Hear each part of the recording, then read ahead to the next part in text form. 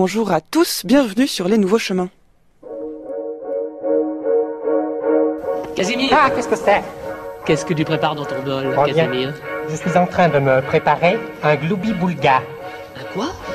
Un gloubi boulga.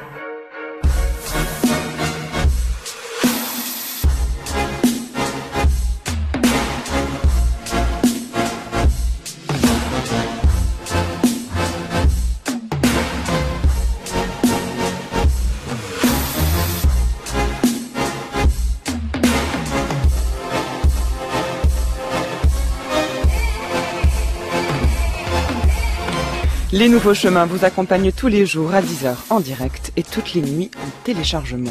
Chaque semaine, nous explorons un thème à la croisée des disciplines, philosophie, littérature, cinéma et musique. Et à 10h50, comme tous les jours aujourd'hui, vous retrouverez Géraldine Mosna-Savoie pour ses deux minutes papillons pour qui viendra vous donner envie de lire de près l'actualité éditoriale philosophique.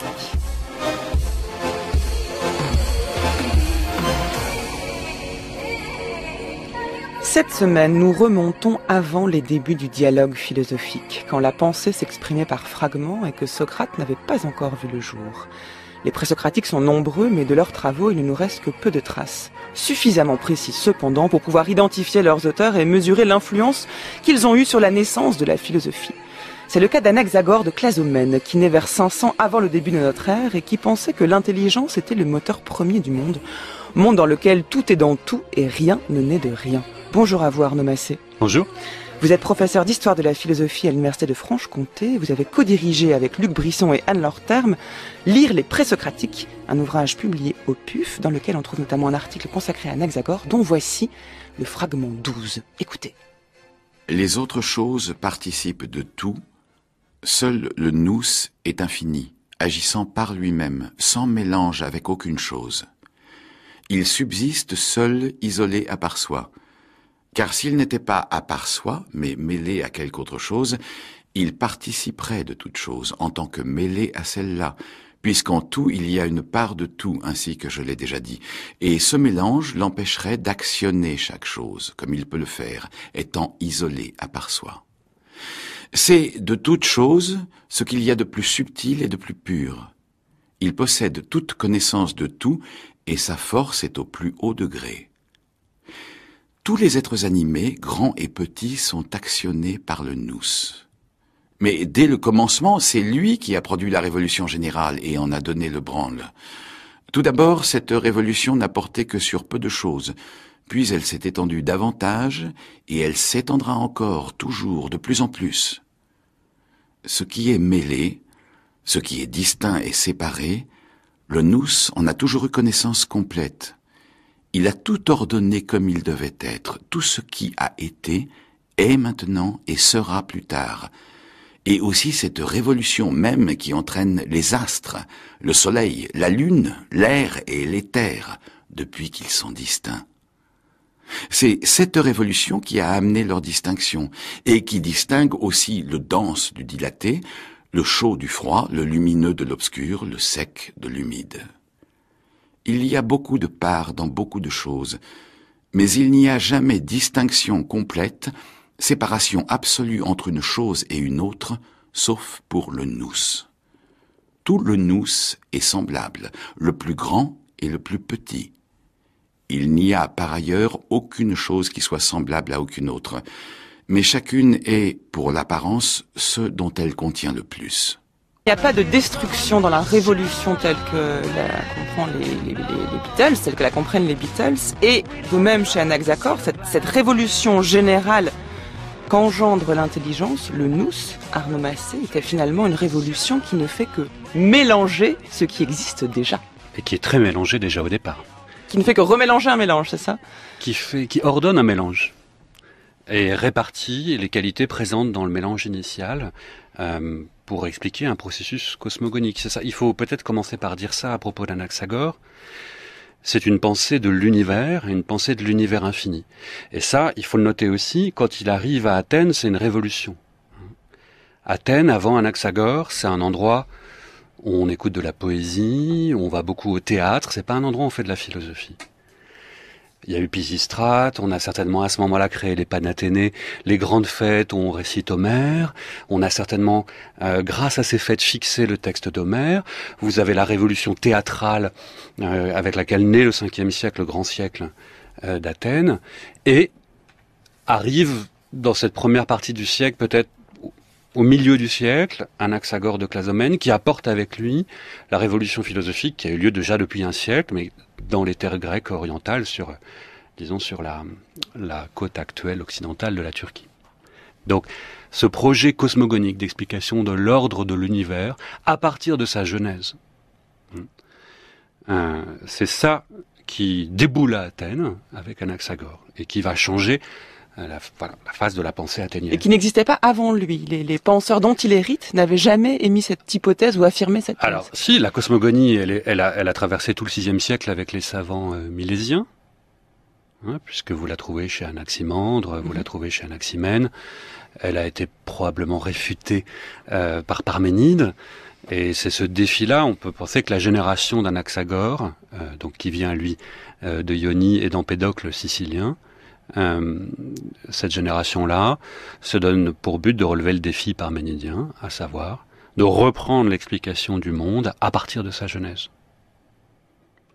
Et cette fois-ci, on se donne les moyens de penser la genèse infinie d'un monde infini. Alors c'est ça qui est difficile à comprendre, comment ce monde, euh, si, si le, le, principe du nous c'est de mettre de l'ordre dans le mélange, comment cet ordre peut-il être infini? Alors d'abord, cet infini, euh, ou cet indéfini, cette idée qu'il y a une progression euh, de la mise en ordre à partir de la révolution de la rotation, c'est parfois la traduction euh, traditionnelle, elle se fait, bon, il faut bien prendre la mesure de ce qui est mis en ordre. Le mélange, toutes choses qui existent ensemble, hein, c'est le, le, premier fragment, on peut peut-être le lire, euh, d'Anaxagore, euh, le fameux fragment toutes choses étaient ensemble, infini en quantité et en petitesse, c'est qu'il y avait aussi de l'infiniment petit, et comme toutes choses étaient ensemble, aucune à cause de la petitesse n'était manifeste. Donc il faut partir de cette description de l'état du monde, hein, comme un mélange où en tout point euh, de cette masse, vous allez trouver toutes choses mélangées. Et alors ça, c'est difficile à comprendre parce qu'on ne sait pas quelles sont les choses dont parle Anaxagore et quelles sont les choses qui sont mélangées. Et encore moins pourquoi elles sont infinies? Parce que dire que les choses sont mélangées, ça n'implique pas le caractère infini des choses. Si on connaît Démocrite et les atomistes, on voit bien qu'ici, ils s'opposent en tout point à une doctrine du, divisible. C'est-à-dire que là, c'est infiniment... Enfin, de l'indivisible, pardon. C'est que Anaxagore postule l'existence d'une indivisibilité à l'infini. Voilà. De la même manière que si, si, vous prenez un, imaginez un segment, si on le, le, présente de manière zénonienne, vous imaginez un segment, vous pouvez le diviser en deux, et puis une de ses parties en deux, et ainsi à l'infini. Mais à l'inverse, vous pouvez imaginer que le segment initial que nous avons divisé, il était lui-même la moitié mmh. d'un autre segment, et donc nous pouvons imaginer à ce moment-là une infinité dans la grandeur comme dans la petitesse. Ce qui est important, c'est que Anaxagore établit le fait qu'il y a autant de parts de petits que de grands. Ça, c'est quelque chose qui a été très difficile à, préciser pour les commentateurs, parce que il faut, il faut préciser la mesure dans laquelle il y a autant de grands que de petits. Ça peut pas être le volume. Et ce, cette précision, je crois qu'elle nous vient euh, du fragment 6 d'Anaxagore qui nous dit Comme les parts du grand et du petit sont égales en quantité, c'est de cette façon aussi que toutes choses sont en toutes. C'est très énigmatique, sauf, sauf si vous, euh, si vous utilisez une représentation très simple. Euh, il faut prendre le, le mot part ici, moira en grec, qui renvoie aux pratiques grecques de distribution de parts à chacun, que les Grecs utilisaient soit dans leurs pratiques concrètes, comme quand au début de l'Iliade il s'agit de distribuer des parts de butin à chacun, et vous êtes face à une transposition cosmologique de cette idée. Elle est déjà dans le fragment 9 de Parménide, où Parménide imagine que le monde pourrait être fait d'une somme de parts de lumière et de feu qui auraient été distribuées à toute chose, de telle sorte qu'il y ait en toute chose, et il avait dit ensemble, déjà, Parménide, qu'il y ait ensemble en toute chose des parts de lumière et des parts de feu. Donc, on va revenir à cette divisibilité, mais il faut penser que Anaxagore s'approche de cette idée de l'infiniment grand et de l'infiniment petit en se disant que on a distribué autant de parts de grands que de parts de petits. Alors, on va prendre un exemple pour, pour illustrer ce que vous êtes en train de dire, parce que vous faites des gestes avec votre main que je suis seul à voir. Donc, je, mais vous avez raison de les faire. Je, je pourrais les décrire euh, aux auditeurs, mais de manière euh, tout aussi illustrative, je vous propose d'écouter un extrait euh, d'une adaptation radiophonique euh, de Lavoisier, qui semble être, en bon lecteur d'Anaxagore, reproduire à sa façon dans le domaine scientifique ce que vous dites de le fait de reproduire une part égale à la suite d'une opération. Écoutez. Euh, vous venez donc vous interviewer. C'est la pratique chez nous. Monsieur, euh, la substance de nos études est si vaste qu'il me paraît euh, difficile de vous résumer en quelques minutes. Hmm, les Français excellent à tout résumer, clarifier. Si je devais euh, brièvement euh, vous donner idée de ce que certains baptisent mon système, pour moi, plus de mysticisme, plus de fluide imaginaire, une arme perpétuelle, la balance. Rien ne se crée, ni dans les opérations de l'art, ni dans celles de la nature. Et l'on peut poser en principe que dans toute opération, il y a une quantité égale de matière avant et après. Vous permettez que je prenne note. Euh, ah, attendez. Euh, écrivez donc, de façon plus concise encore, que dans toute réaction chimique, la masse du composé est égale à la somme des masses des composants. Très exact. C'est à Lavoisier que l'on doit la formule à rien ne se crée, rien ne se perd, tout se transforme.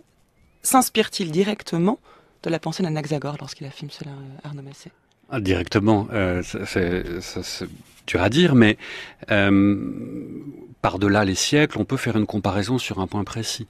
En effet, Anaxagore essaie de penser euh, la production du monde et de son ordre euh, sur la base de grands équilibres. Donc les grands équilibres qui sont de deux sortes, le fait qu'en effet rien ne se perd, rien ne se crée. Là, on, on essaie de, il essaye, en relevant le défi de Parménide, de ne jamais dire ce que la déesse de Parménide ne veut pas qu'on dise, à savoir que quelque chose puisse naître, de rien. De rien. Mm.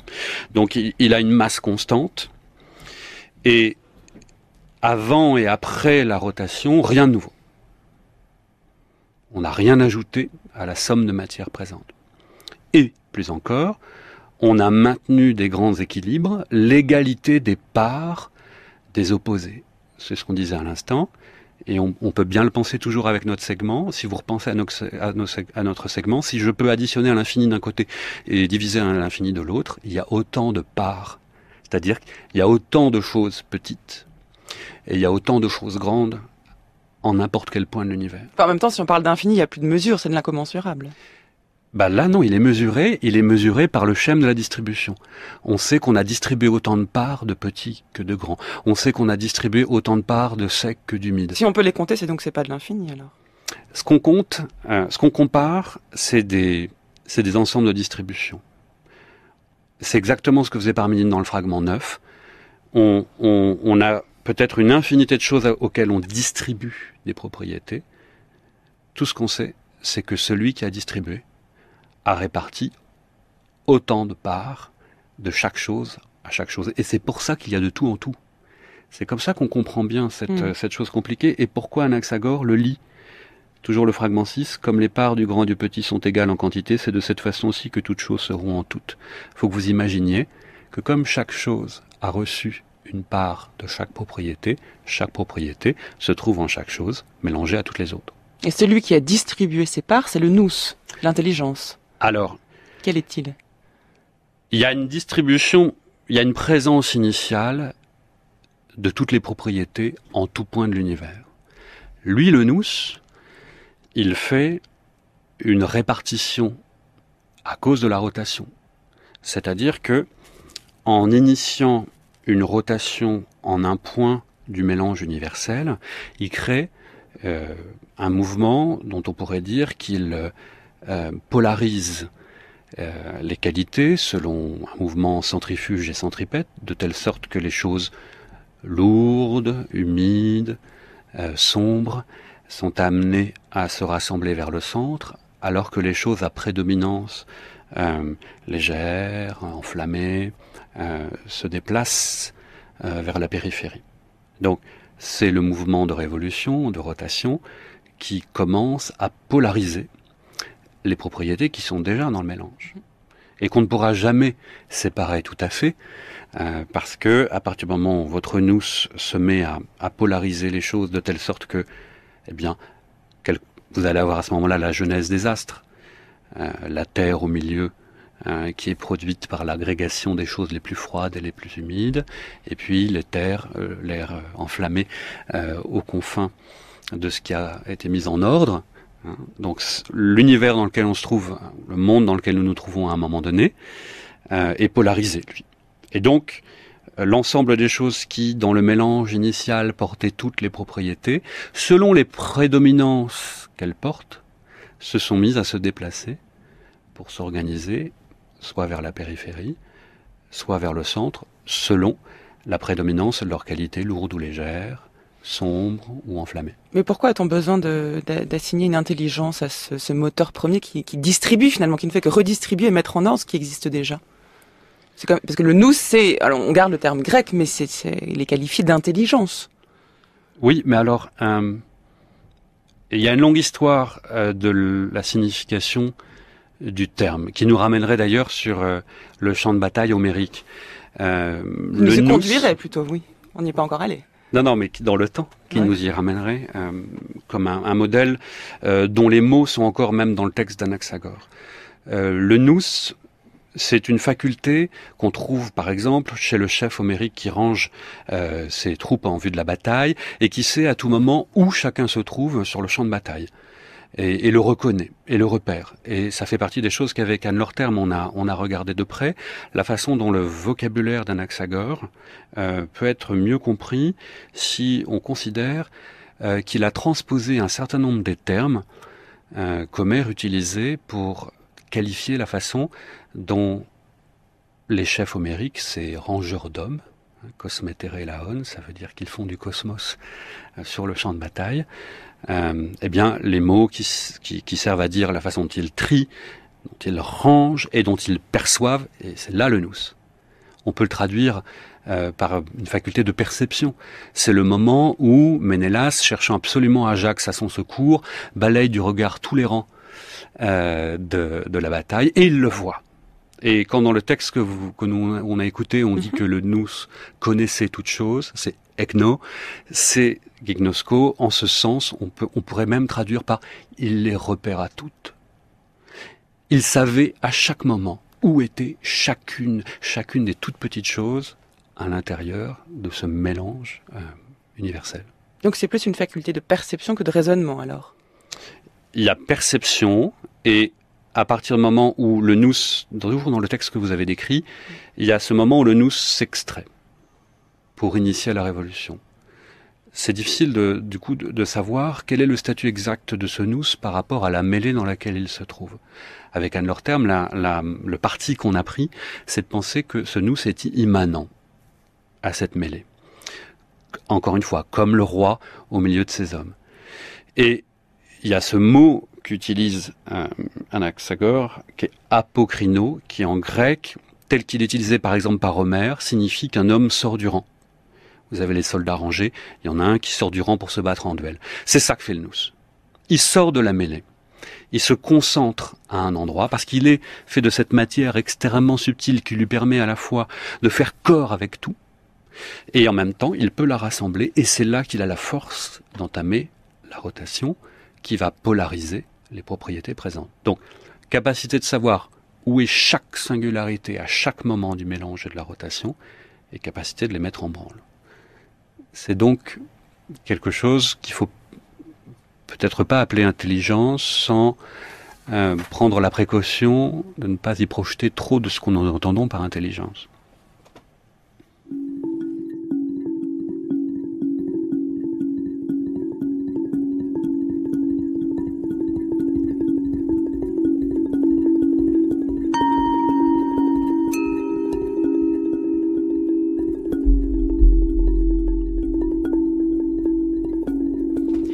Un jour, j'entendis faire la lecture d'un livre dont l'auteur, disait-on, était Anaxagore.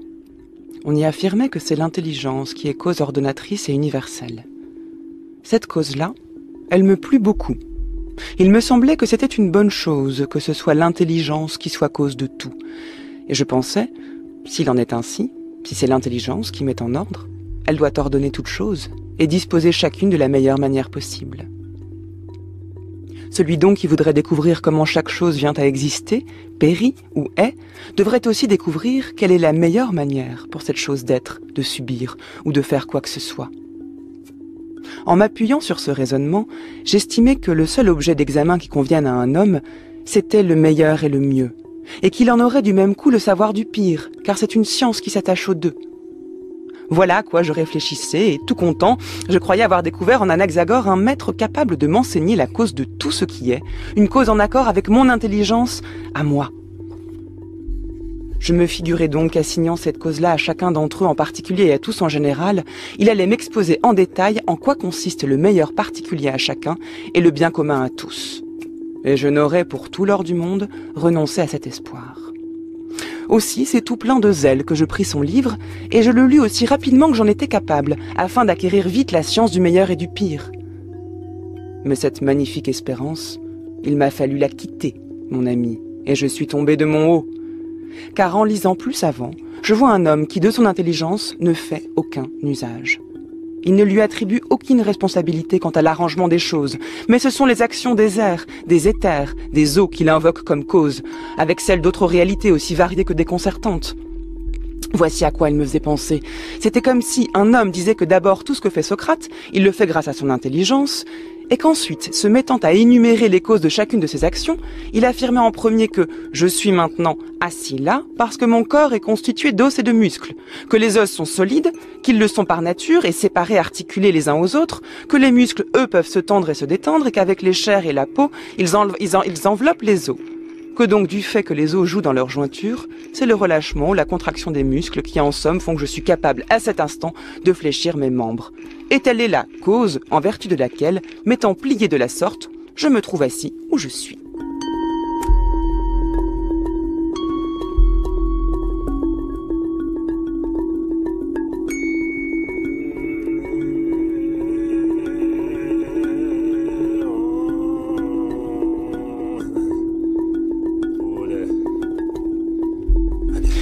Arnaud Massé, la meilleure façon de préciser ce qu'entend Anaxagore par euh, le nous, c'est peut-être de partir des objections qu'on lui fait. Ici, c'est celle de Socrate dans le Phédon de Platon. Socrate qui raconte la déception qu'il a eu à la lecture du texte d'Anaxagore, euh, déception qui vient du fait que dans derrière le terme intelligence, il pensait que cette intelligence, enfin il y mettait, euh, disons, à la fois une dimension morale, il pense que l'intelligence peut expliquer le pire et le, et le, meilleur, ce que ne fait pas du tout Anaxagore, mais aussi, disons, une connaissance par cause finale. Il dit, mais on ne peut pas dire, Anaxagore explique le fait que je sois assis ici, tout simplement par le fait que mon corps est composé d'os et de muscles, et que, et que par conséquent, c'est ainsi que mon corps est assis, il n'y a aucune volonté ou intention derrière cela. Ces deux objections euh, que fait Socrate se tiennent absolument. Alors comment défend-on Anaxagore Arnomacé um, Je pense qu'on le défend en, montrant que Socrate se fait une idée du travail d'intelligence qui est la sienne, mais qui ne correspond pas à celle que décrit Anaxagore. Um, chez Socrate, il est très clair que le même mot que celui qu'utilise euh, Anaxagore, à savoir celui de cosmein, mettre en ordre, euh, faire un cosmos, hein, comme euh, par exemple euh, Socrate, selon Platon, l'a analysé dans le Gorgias 503-504 avec une analogie très très simple, où une intelligence à l'œuvre, qu'est-ce qu'elle fait? Si c'est un meuble qu'elle fait, si c'est un corps qu'elle soigne, ou si c'est un discours qu'elle tient à une assemblée. Dans tous les cas, elle fait que des choses rentrent en ordre et s'harmonisent selon un plan préalable, hein, selon une fin. Donc le menuisier met chaque chose à sa place dans le meuble et y réalise un ordre, un cosmos. De même, le médecin rétablit l'ordre dans notre corps et de même le bon orateur rétablit l'ordre dans nos esprits. Bien. Donc on, ne peut pas dissocier pour Socrate la mise en ordre de l'activité planificatrice d'une intelligence qui anticipe selon une norme du meilleur. Mais maintenant, si on si on se replace dans les fragments d'Anaxagore, on ne trouve rien de tout ça. Donc il n'y a pas de raison d'embêter l'Anaxagore avec cette affaire. Il lui demande quelque chose qu'il ne, qu'il ne concerne pas, c'est ça? Alors que le, le nous d'Anaxagore fait quelque chose de bien plus puissant. Comprenez-le d'abord comme une forme d'hyperperception euh, et de, de- d'hypercontact. Ce contact avec tout, toutes les parties infiniment grandes comme infiniment petites d'un mélange infini. Il faudrait imaginer à la limite euh, matière et mémoire de Bergson. Mhm. Euh, on a le repli qui est notre cerveau, mais imaginez le flux infini euh, d'images qui s'entraffectent. Et qu'est-ce que c'est qu'être une chose selon Bergson? C'est le fait de se laisser traverser par tous les flux d'images sans en réfléchir le moindre. Imaginez que le nous d'Anaxagore, c'est cette faculté d'être en interaction totale avec le flux infini euh, à l'œuvre dans ce mélange et dans l'univers. Vous percevez tout. Vous êtes comme une membrane hypersensible et diffusée à l'infini. Bon.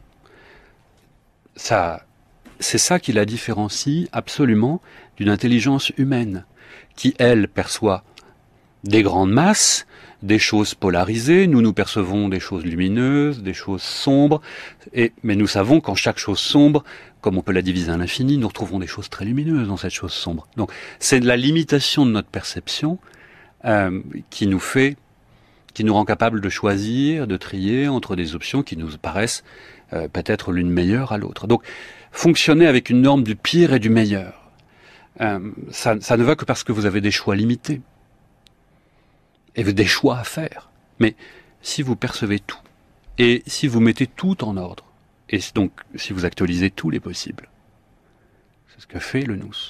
Il n'y a plus besoin de faire des choix. Il met tout en ordre.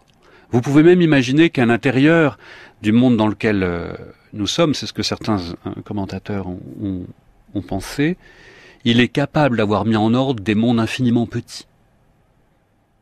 Peut- Peut-être que nous respirons des mondes. Et donc il n'y a plus de possible en réalité puisque tout est actualisé. Alors il est en train de s'actualiser. Parce que euh, Il le- finit, la, la- la révolution n'en finit de prendre la masse infinie qu'elle qu'elle fait progressivement tourner. Mais il faut savoir que lui, il est comme le dit très clairement un des fragments qu'on a, euh, lui est partout dans l'univers et partout dans le mélange qui n'a pas encore été mis en branle. Parce qu'il fait penser, le, ce nous, euh, tel que le présente Anaxagore, fait penser au dieu leibnizien, euh, qui lui aussi, Leibniz qui postule l'existence de l'infiniment petit et de l'infiniment grand, et qui, et qui, en identifiant Dieu à un principe de raison suffisante, euh, lui ajoute, la différence d'Anaxagore, un principe moral. Le Dieu va choisir de faire passer à l'existence, euh, parmi tous les mondes possibles, le meilleur possible. Est-ce que Leibniz serait comme, euh, le, disons, j'ose pas dire le dieu d'Anaxagore, mais le nous d'Anaxagore, avec le critère moral en plus? Non, parce que le dieu, le dieu de Leibniz fait des choix. Il Oui, a des ça. choix. Mm. Il a des choix. Le nous Pourtant, il est dans l'infini, ouais. Mm. Alors bon, mais le nous d'Anaxagore euh, réalise tout. Alors peut-être que il y a moins de possibles devant lui.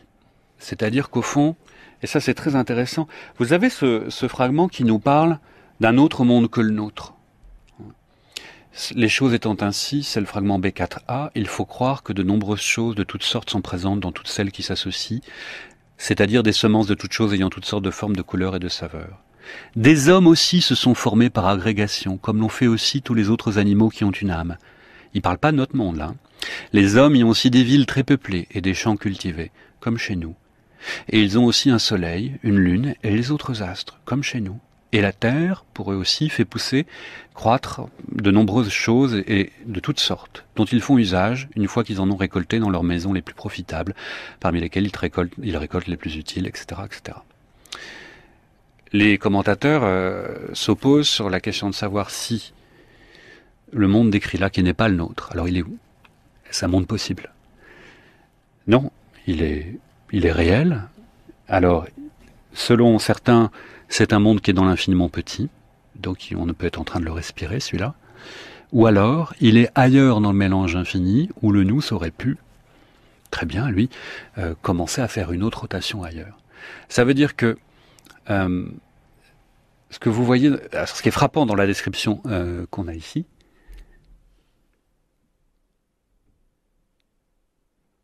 La lumière vient de s'éteindre en studio alors que vous parliez Arnaud Massé, c'est assez surprenant. Les contraires se rejoignent. L'obscurité s'est faite alors que la lumière était là. Je vous en prie, continuez. Le, nous se manifeste peut-être pour euh, me faire une objection. Je crois qu'il était en studio avec nous. Allez-y. Ce que je voulais dire avec ce fragment, c'est que euh, Anaxagore vous décrit un autre le monde que le nôtre et il insiste sur le fait que ce monde est semblable. Comme nous, les hommes contemplent un soleil et une lune. Comme nous, ils ont fait des récoltes dont ils ont euh, récolté euh, les fruits les plus profitables dans leur maison, etc. Donc, ça veut dire que ce nous, euh, qui fait corps avec une matière infinie, à chaque fois qu'il commence une révolution, que ce soit dans l'infiniment grand, dans l'infiniment petit, il polarise les choses de la même manière. Elles ont des propriétés qui préexistent à son œuvre. Il n'a pas, il n'a pas le luxe peut-être d'un dieu cartésien ou l'amnistien, de l'amnistien de se dire mm. s'il va faire demain que le lourd euh, aille en haut et, le léger en bas, ou si deux et deux vont faire cinq. Il ne change pas euh, les coordonnées du système. Donc il y y a du donné qui s'impose à lui et qui fait que tous les mondes possibles ont le même visage. Et ils peuvent se mélanger.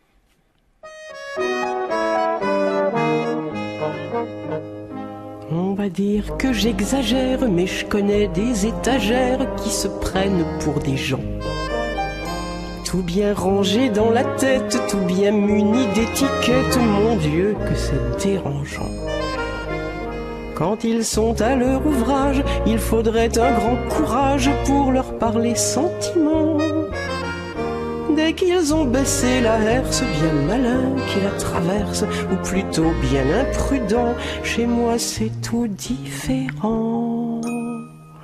Tous mélange, tous mélange, quand j'ai peur il faut que je mange, quand j'ai soif je suis en amour. J'ai des sensations étranges, des noirceurs dans mes oranges, du venin dans mes velours. Bien sûr que je les admire, on ne me fera pas dire ce que j'ai l'air de penser. Mais là, nous avons affaire au choc de deux hémisphères, à deux mondes opposés. Moi, je ressemble davantage aux épiceries de village qui offraient sur leurs rayons du fil, des harengs, des poires, des cornichons, des histoires, des tumouches, des crayons, même pas en rang d'oignons. Tous mélange, tous mélange, quand je déprime, il faut que je range, quand ça va, je reste au lit. Mes réactions s'interchangent, quand on m'aime, je me venge, on me déteste, je ris. Tout se mélange, chante Anne Sylvestre et écrit Anaxagore dans ses fragments de la nature dont vient nous parler aujourd'hui Arnaud Massé, qui est professeur d'histoire de la philosophie à l'Université de Franche-Comté, qui a co-dirigé en compagnie de Luc Brisson d'Anne Lorterme un ouvrage consacré au présocratique qui vient d'être republié aux éditions PUF. Quelles sont ces choses dont parle Anaxagore et quel est ce grand mélange? Eh bien écoutez, cette critique du grand mélange d'Anaxagore par Aristote. Il semble qu'Anaxagore ait pensé que les éléments sont infinis, parce qu'il tenait pour vrai l'opinion commune des physiciens, selon laquelle rien ne naît du non-étant. C'est pourquoi, en effet, il s'exprime ainsi, tout était ensemble. Et que lui a posé que, pour une chose de telle ou telle sorte, naître, c'est subir une altération, alors que les autres parlent d'assemblage et de dissolution. Il a aussi pris cette position du fait que les contraires naissent les uns des autres, et que donc ils sont déjà présents. Si, en effet, d'une part, tout ce qui vient à l'être vient nécessairement soit d'étant, soit de non-étant, et que d'autre part, parmi ces possibilités, venir du non-étant est impossible, les anaxagoréens pensèrent dès lors que c'était l'autre possibilité qui s'ensuivait nécessairement, à savoir que les choses viennent à l'être à partir d'étangs et de choses qui y sont comprises, mais d'étangs imperceptibles pour nous du fait de la petitesse de leur masse. Voilà pourquoi ils disent que tout est mélangé à tout, parce qu'ils considèrent que tout venait de tout, mais que les choses apparaissent différentes et reçoivent des appellations différentes les unes des autres à partir de ce qui est prépondérant numériquement dans le mélange des composantes infinies, et qu'il n'y a pas de totalité qui soit purement blanche, noire, douce, chair ou os, mais que ce que chaque chose contient le plus, c'est cela que l'on croit être la nature de la chose. Alors Arnaud Massé, qu'est-ce qu'Aristote reproche à Anaxagore en particulier? Plusieurs choses dans ce texte, notamment peut-être on peut partir de là, il me semble qu'il lui reproche d'affirmer l'existence d'un mélange ou d'éléments qui seraient infinis, puisque pour Aristote, euh, l'infini n'est même pas concevable et n'existe sans doute pas. Il peut parler d'indéfini et il vit dans un monde qui est fini, apprend-on, en tout cas lorsque lorsqu'on lit Aristote. Alors est-ce que c'est l'idée même d'infini qui lui est, qui lui est inconcevable? Hmm. Oui, il y a un problème avec l'infinité des éléments. Euh, pour Aristote, c'est un, nombre euh, qui ne permet pas de penser la génération à la corruption. Euh, c'est ce qui nous explique en effet au début de la physique. Euh, il y a un problème avec euh, l'infinité des éléments et avec l'infinité du monde, hein, puisque euh, c'est ce que Aristote a aussi réfuté dans le traité du ciel, ben, avec des arguments qui sont intéressants sur le fait qu'un monde infini finirait par avoir une vitesse infinie. C'est intéressant parce qu'Anaxagore avait affirmé aussi la vitesse inconcevable de la rotation.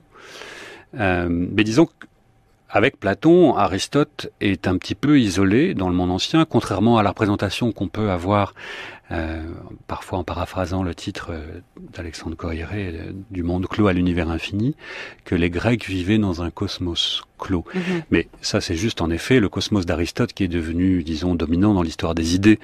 Mais avant, quand nous entrons dans le monde des présocratiques, en effet, nous avons affaire à des mondes infinis, des mondes dont on peut affirmer l'infini en acte. Et c'est bien sûr ce qu'Aristote va, va, essayer de réfuter, notamment dans la deuxième partie de la physique. Le cosmos d'Anaximandre, le cosmos d'Anaximène, euh, celui d'Anaxagore en particulier, qui sont en effet des infinis. C'est ce que nous a dit le premier fragment, hein, infini. Euh, on nous l'a dit depuis le début, c'est très, très précisément infini en quantité, en petitesse, hein, et donc aussi en grandeur. Mais c'est l'idée même de mélange aussi qui pose un problème à Aristote. Le mélange, oui, de tout en tout. Euh, parfois, Aristote se moque aussi hein, avec, euh, avec l'idée que euh, c'est pour expliquer spécifiquement la nutrition qu'Anaxagore en sera arrivé là, puisque il faut penser que la même, comment dire, c'est par une loi d'identité que se produit euh, la croissance. Hein. J'en profite pour, euh, pour vous lire le, fragment B10 qu'on doit à une scolie dans un texte de Grégoire de Naziance, et qui, est un, fragment d'une grande profondeur. Comment un cheveu naîtrait-il de ce qui n'est pas cheveux et la chair de ce qui n'est pas chair? Bon, si vous devez expliquer que nous amassons de la chair en nous nourrissant de chair et que manifestement nous mangeons plutôt du pain que de la chair humaine. Il faut que vous expliquiez qu'il y donc de la chair dans le pain. Et donc il y a de tout en tout pour expliquer que nous nous nourrissions et nous augmentions à partir de choses qui spécifiquement ne nous ressemblent pas.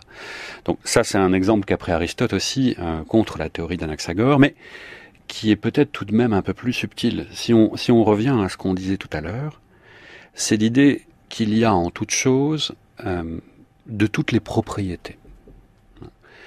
Et que de la chair, c'est un type de chose dans laquelle certaines propriétés prédominent. Mais quand nous allons ouvrir toute chose dans l'univers que nous connaissons ou dans le mélange initial, nous allons à chaque fois trouver l'ensemble des propriétés qui auront été à chaque chose récipiendaire, chaque chose étant récipiendaire de la totalité des, des propriétés.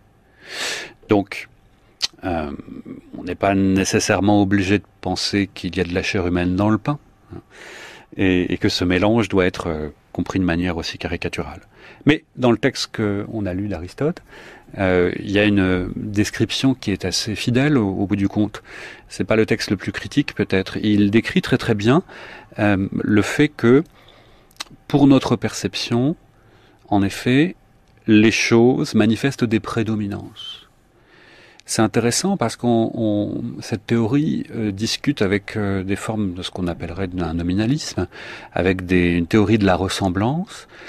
Deux êtres humains ou deux oiseaux peuvent être des choses qui se ressemblent sans être composées d'un mélange absolument identique, puisque comme vous avez une, une multiplicité infinie à l'intérieur de chaque chose, puisque nous sommes des foules infinies, eh bien, même entre individus de la même espèce, on peut imaginer qu'il y aura toujours des petites parties mm. différentes entre deux individus. Donc on a une manière de singulariser toute chose grâce à sa composition infinie. On a une manière de penser que les espèces et les genres euh, sont le rassemblement de choses qui se ressemblent plus que d'autres.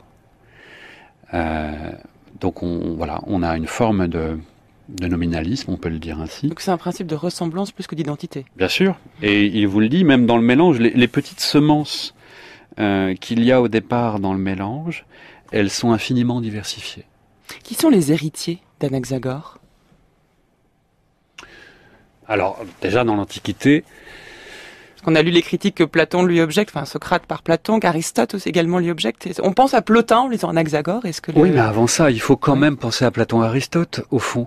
C'est que même si Platon et Aristote, euh, même si Platon d'abord, le premier, euh, modifie le contenu de l'intelligence, c'est-à-dire qu'il il doit y avoir la finalité, euh, tenir la promesse d'Anaxagore, comme, comme ils vont le formuler, euh, et comme le formulera encore Leibniz, ce programme-là, même si ça am- amène probablement à reformuler la nature de l'intelligence cosmique anaxagorienne, ça devient un programme épistémologique, on pourrait dire qu'une science athénienne de la nature, Euh, celle qui est relevée par Platon, puis par Aristote, euh, fait d'eux des héritiers d'Anaxagore. hein.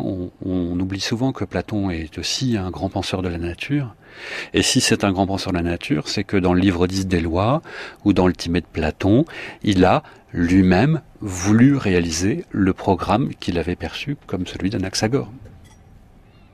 Donc, une intelligence immanente aux choses, comme les lames du monde chez Platon, euh, qui en met en ordre l'ensemble des mouvements, de telle sorte qu'ils soient cohérents, que euh, du chaud naisse du chaud et pas du froid, euh, toute cette continuité des mouvements physiques, depuis les mouvements d'association, les mouvements d'altération, les mouvements d'augmentation, euh, qui sont décrits dans le livre 10 des lois. hein. vous avez une distinction de tous les sens du mouvement qu'il ne faut pas prendre comme une distinction, une simple typologie, mais une articulation. La façon dont tous les mouvements sont harmonieusement combinés les uns les autres sous l'effet d'une intelligence cosmique, qui est l'âme du monde, hein, du vivant dans lequel nous sommes. Au fond, trouver la formule qui explique l'ordre des choses, à partir de la genèse du monde, sous l'égide d'une intelligence immanente à ce monde, c'est probablement le testament d'Anaxagore. Et si on regarde les choses ainsi, si on regarde Platon à partir de son âme du monde dans le livre 10 des lois, et puis, si on regarde euh, Aristote à partir du traité du ciel, à partir de la fin de la physique, à partir de l'acte pur qui organise tous les ciels, toutes les orbites, euh, il faut faire attention aussi à notre, à notre Aristote. euh, notre Aristote, on- bien sûr aujourd'hui on est très très euh, conscient de la part naturaliste d'Aristote, mais il ne faut pas s'en tenir euh, à la nature sublunaire des vivants chez Aristote. Euh, la reproduction même des vivants chez Aristote, elle, si on lit bien le traité du ciel, on s'aperçoit qu'elle est dépendante, elle aussi, des révolutions cosmiques. Et que toutes les révolutions cosmiques dépendent aussi de l'activité d'un acte pur. Alors est-il immanent? Je ne veux Mm. pas me, je veux pas que la lumière s'éteigne à nouveau, donc je ne le dirai pas. Euh, mais vous voyez que euh, si on si on prend Platon et Aristote du point de vue de leur théorie cosmologique, euh, on s'aperçoit à quel point ils sont les héritiers du fait qu'Anaxagore soit venu à Athènes proposer une cosmogonie, une cosmologie fondée sur un principe intelligent, Platon, Aristote et sans héritier doute d'autres ensuite. Ce ne Mais sont pas les derniers héritiers. La Nice dont on parlait, Plotin également. Plotin, vous, le, le lien euh, semble aussi direct. On- on- quand on lit Plotin, Leibniz et d'autres encore qui sont postérieurs à Platon, Aristote, on réalise à quel point les présocratiques eux-mêmes sont présents dès Bien Platon, sûr, Aristote. C'est ça sûr. qui est intéressant. Et notre c'est avec cette notion d'infini qui semble complètement exclue des textes aristotéliciens et platoniciens. Alors qu'en fait, ce n'est pas le cas. Et c'est ça qu'on réalise à la lecture des présocratiques. Tout à fait. Est-ce que l'infini, euh, hmm, chez Aristote, réfuté beaucoup, il y a quand même une infinité du temps. Hmm. Il en reste quand même des, euh, des morceaux de cette infinité présocratique.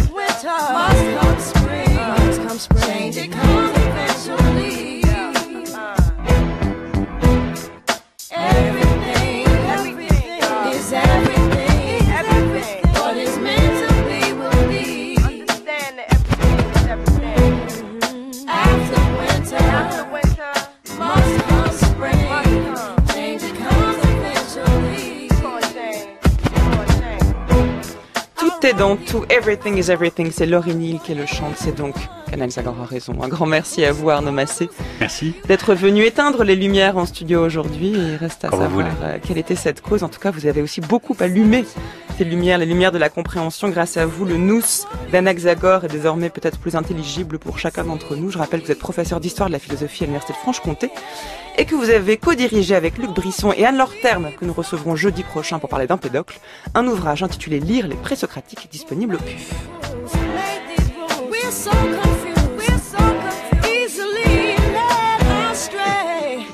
Let me tell you that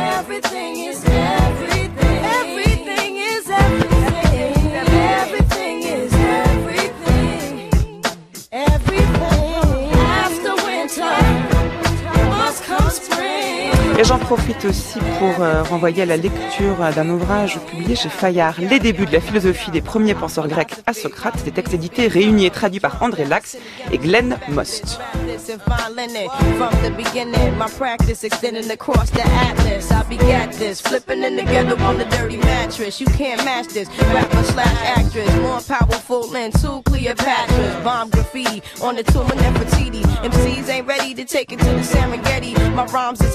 Like the mind of Sister Betty. L Boogie spars with stars and constellations. Then came down for a little conversation. Adjacent to the Et demain, pour la suite de cette semaine sur les présocratiques après Parménide hier et Anaxagore aujourd'hui, ce sera Héraclite. Héraclite en compagnie d'Heinz Wiesmann. Mais pour l'heure, sur France Culture, il est 10h49 minutes. Il est l'heure de retrouver Géraldine Mosna-Savoie pour ses deux minutes papillon. Bonjour Géraldine. Bonjour Adèle, bonjour à tous. Comme tous les jours, vous venez nous parler d'un livre qui vient de sortir qui a retenu votre attention. Et Oui, alors, aujourd'hui, Et aujourd'hui, c'est Venise, naissance d'une ville. Alors, c'est déjà paru en fait en 2006 aux éditions de l'Éclat, mais là, ça paraît en version poche. C'est un essai de Sergio Bettini. Attention, ça change de l'orignal. Laisse les à la.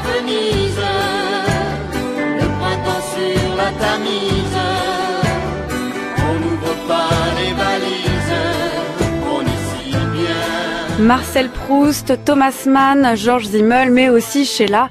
Venise en a fasciné plus d'un. Alors Marcel Proust en a fait pour sa part la patrie de l'âme, Thomas Mann le symbole de l'art qui sublime l'existence hantée par la mort.